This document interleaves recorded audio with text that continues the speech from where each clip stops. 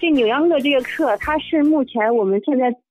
所学的音乐专业基础必修课中间的这个歌舞音乐中间必修的一个知识。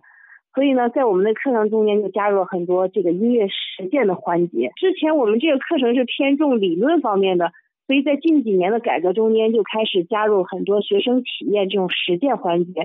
还挺受学生欢迎的。学生能够在实践中能够更加感知中国的传统音乐。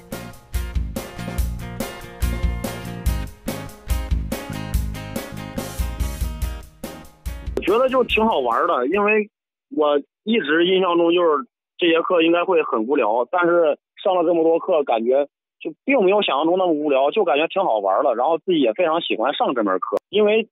毕竟男生嘛，身体性没有身体协调性没有女生那么好。然后就感觉有时候就扭着可别扭，感觉手脚不协调，不知道手该往哪放，脚该往哪走。然后慢慢的、慢慢的就感觉，哎，慢慢就跟上拍了，这样一个过程，就是不知不觉中就了解了中国传统音乐，包括像扭秧歌呀、之前的一些山歌呀、民歌呀，就感觉其实并没有想象中那么，并没有想象中那么枯燥无味。其实他们都是还挺好玩的，都是一些比较好玩的事情。看视频上澎湃。